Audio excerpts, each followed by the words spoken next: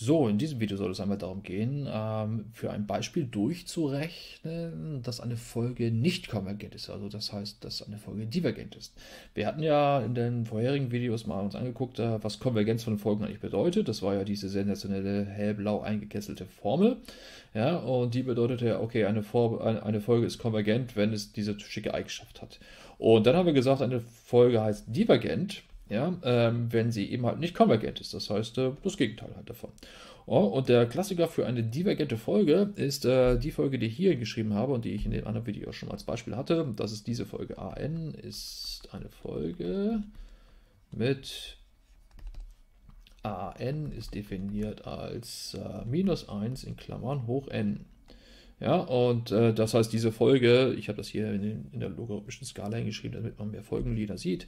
Ja, diese Folge äh, wechselt also munter die Werte zwischen 1 und minus 1 hin und her. Ja? Ähm, also für gerade n haben wir 1 und für ungerade n haben wir eben halt minus 1 als, als Folgenglied. Ja, okay. Also ist nicht so schwer zu verstehen, dass äh, diese Folge immer brav hin und her, her springt zwischen zwei Werten. Und zwar unendlich oft. Ja? Ähm, das heißt, wir haben unendlich oft, nehmen wir den Wert minus 1 an und unendlich oft nehmen wir den Wert plus 1 an.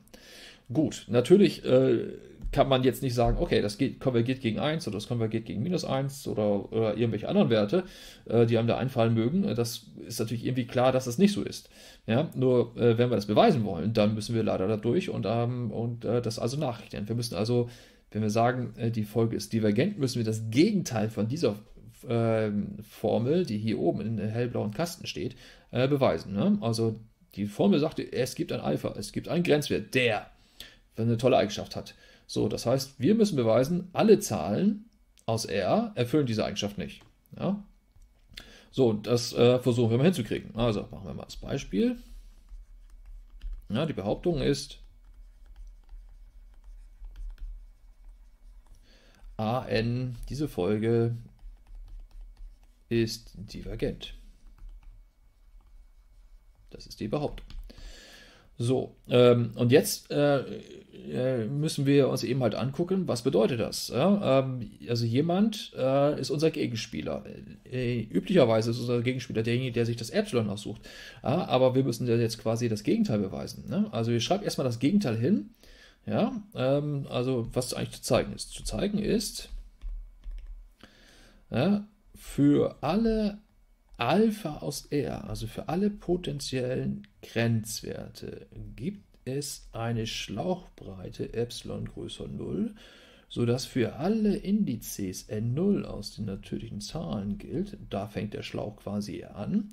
Ähm, dass es wiederum eine Zahl aus den natürlichen Zahlen gibt, die zum Schlauch gehört, sprich ja, n ist größer gleich n0, also der Schlauch äh, fängt ja bei n0 an und äh, das n ist größer gleich n0 und trotzdem ist der Abstand zwischen Alpha und an nicht so, nicht kleiner Epsilon, das heißt größer gleich Epsilon, das heißt außerhalb des Schlauches. So, das ist die Formel, die wir zeigen müssen, um nachzuweisen, dass diese Folge an mit äh, minus 1 hoch n tatsächlich divergent ist. So, ähm, ist natürlich ein Knüller, müssen wir hinkriegen irgendwie. Ähm, machen wir eine Fallunterscheidung, das hilft uns. Erster Fall. Ja, der erste Fall ist, äh, wir, äh, falls äh, ist also die, diese, diese Annahme, Alpha ist 1. Also jemand kommt durch die Tür, unser Gegenspieler, und sagt, der Grenzwert ist 1. Ja, ist eigentlich eine durchaus plausible Idee, dass man sagt, okay, also immerhin unendlich viele äh, Male nimmt der, diese Folge den Wert 1 an. Ne? Warum soll das nicht der Grenzwert sein? Könnte man ja auf den Gedanken kommen. Das ist gut. Immerhin. Versuchen wir mal diesen Gedankengang nachzuvollziehen. So. Und äh, jetzt wechseln wir ja quasi die Rolle. Ja, äh, vorher haben wir äh, immer gesagt, der Psychopath wählt sich ein Epsilon größer 0 aus. Jetzt werden wir die Psychopathen und sagen, wir wählen uns jetzt ein Epsilon größer 0 aus, sodass das mit, der, mit dieser Schlauchidee nicht passt. So, das heißt, äh, jemand hat den Grenzwert gewählt. Das ist also hier 1. Ich mache das mal ein bisschen krumm, egal. Das ist also der Grenzwert und wir nehmen jetzt den Schlauch. Ähm, und den Schlauch, dann wähle ich mal einfach so äh, als Einheit, einfach so. Ja, warum? Äh, weil das schon ausreichend ist. Die Idee ist nämlich, dass diese Werte hier, die sind alle außerhalb des Schlauches. Das heißt, da kann ich auch, ich könnte auch Epsilon gleich 1 nehmen oder 1,5 oder so, das würde alles reichen. Aber ähm, aus äh, Sparsamkeitsgründen wähle ich mal Epsilon gleich 1,5. Ja, das heißt, ähm, dann wähle Epsilon gleich 1,5. Achtung, wenn Sie Konvergenz beweisen wollen, wählen Sie das Epsilon nicht, sondern jemand wählt das Epsilon für Sie. Ihr Gegenspieler wählt das Epsilon. Nur, nur haben wir gerade die Rollen getauscht. Wir wollen ja Divergenz beweisen. Das heißt, wir wählen jetzt das Epsilon gleich, gleich an halb und sagen, Edge, das schaffst du jetzt nicht, dass fast alle in, diesen, in diesem Schlauch sind, ab einem gewissen Index. Denn äh, diese, dieser Teil dieser Formel hier, die ich jetzt hier grau einkästle, bedeutet, wenn man das flapsig ausdrückt, fast alle Folgenglieder sind in dem Schlauch. Fast alle. Fast alle bedeutet mathematisch bis auf endlich viele Ausnahmen. Die Ausnahmen, die endlich vielen, sind vor dem N0. Ja, und äh, wenn wir jetzt das Gegenteil beweisen wollen, von fast alle sind innerhalb des Schlauches, dann heißt es, unendlich viele sind außerhalb des Schlauches. So, ja, jetzt das müssen wir beweisen und wir sehen das ja, das ist ja, ist ja der Fall. Ja, also wenn wir uns diesen Schlauch hier angucken, sehen Sie ja, okay, da sind unendlich viele außerhalb des Schlauches. Das heißt, eigentlich müssen wir es kaputt kriegen, wir müssen es schon nachrechnen können. So, also es gibt ein Epsilon größer 0, das haben wir gewählt, sei n0 aus den natürlichen Zahlen beliebig. Warum wählen wir das beliebig? Weil ja unser Gegner jetzt sagt, doch, Alpha gleich 1 ist der Grenzwert. Wir haben die Rolle des Gegenspielers angenommen und sagen, nein, dann wählen wir mal Epsilon gleich 1,5. Dann wählt unser Gegenspieler eben halt das N0 und sagt, guck, ab jetzt sind alle in den Schlauch. Ne? Der wählt sich vielleicht irgendwie dieses N0 oder ein späteres. Ja, egal. Er wählt sich halt irgendein N0. Dann sagen wir, das macht nichts, ja, äh, dass du das N0 gewählt hast. Äh, wir wählen uns jetzt ein N. Dann sei N gleich. So, und jetzt kommt eigentlich der Knüller, dass wir uns ein, äh, also ein N überlegen müssen, in Abhängigkeit von dem N0. Jemand sagt uns, ab N0 ist alles im Schlauch. So, und wir kennen ja unsere Folge. Ja, es wechselt ja immer hin und her. Wenn 1 der Grenzwert sein soll, dann wir, brauchen wir natürlich einen Wert, äh, der, äh, wo a, n eben halt genau minus 1 ist. Ja? Das kriegen wir hin, indem wir halt sagen, pass mal auf, nimm mal so dein n0, multiplizieren das, das mit 2 und addieren nochmal 1 drauf. Ja, das ist, das, das ist n, n und das ist natürlich auf jeden Fall größer gleich n0, also entspricht den Spielregeln. So. Ja, die Spielregeln müssen ja eingehalten werden. Die Spielregeln sagt, das n muss größer gleich n0 sein. Und wenn ich das n0 so bastele wie hier, ähm, dann ist es klar, dass es größer gleich n0 ist. Damit gilt. So, und was muss es gelten? Diese Aussage hier der Kollege liegt nicht in dem Schlauch. Ja, so, also gucken wir uns das mal an. Der Abstand von Alpha minus a n ist ja nichts anderes als der Abstand von ja, 1 minus, und was ist jetzt a äh, n? Ähm, das ist ja dann an dieser Stelle minus 1 in Klammern hoch 2n0 plus 1. So, und das habe ich natürlich jetzt so geschickt gewählt, dass das hier auf jeden Fall dann ähm, eine ungerade Zahl ist. Das heißt, da kommt minus 1 raus. Das ist also ähm, 1 minus, in Klammern minus 1. Und da kommt also 2 raus. Der Betrag von 2 ist natürlich genau 2. Und das ist natürlich größer gleich 1,5. Und das war mein Epsilon. So, also habe ich schlussendlich rausgekriegt, dieser Abstand ist größer gleich Epsilon. Ja, und damit bin ich für diesen Fall, dass Alpha gleich 1 ist, fertig, weil jetzt weiß ich, okay, also Alpha gleich 1, dieser Grenzwert tut es nicht. Und jetzt kriegt man natürlich Angst und denkt sich, muss ich das jetzt für alle möglichen Zahlen äh, äh, aufschreiben, also für alle Alpha aus R? Ja, natürlich nicht, Gott sei Dank. Also äh, für, äh, für den zweiten Fall gucken wir uns halt jetzt an, was da los ist. Zweiter Fall.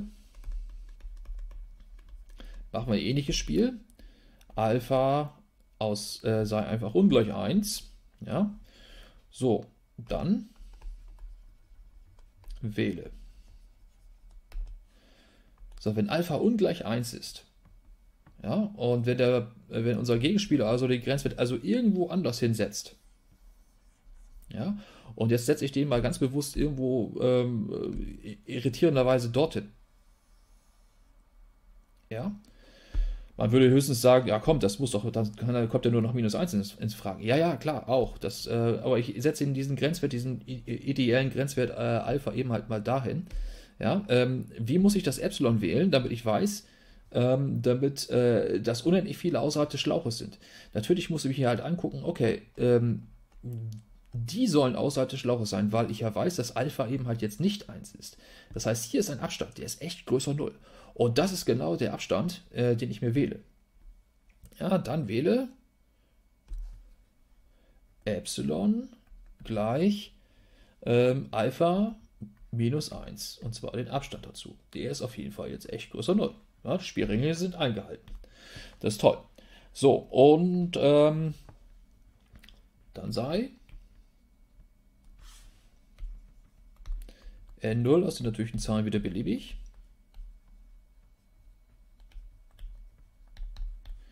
Wir wählen dann n gleich 2 mal n0 und dann gilt ja, was gilt denn dann? Ja, wir müssen uns jetzt wieder diesen Abstand angucken. Der Abstand von Alpha minus an. Ja, so, und der ist ja jetzt eben halt Alpha. Was ist mein an? an, die Wahl von dem n ist so, dass, dass die Zahl auf jeden Fall gerade ist. Das heißt, wir haben hier minus 1 hoch 2 n0. Ja, das heißt, da kommt auf jeden Fall äh, 1 heraus. Ja, das heißt, da steht einfach der Betrag von äh, Alpha minus 1. Ja, so, äh, das ist genau mein Epsilon. Das ist gleich Epsilon. Und zeigen muss ich das, äh, wenn wir reingucken in die Formel, dass der Abstand von A Alpha zu AN größer gleich Epsilon ist. Jetzt habe ich bewiesen, es ist gleich Epsilon. Also ist auf jeden Fall auch größer gleich Epsilon. Das ist nichts Falsches. Und damit sind wir fertig.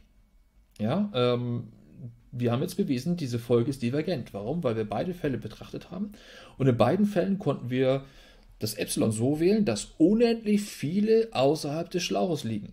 Ja, dass wir hier bewiesen haben, dass sie genau am Rand des Schlauches liegen, ist irrelevant. Ich könnte hier auch nochmal noch, äh, noch das Ganze halbieren, wenn ich wollte, aber das brauchen wir gar nicht.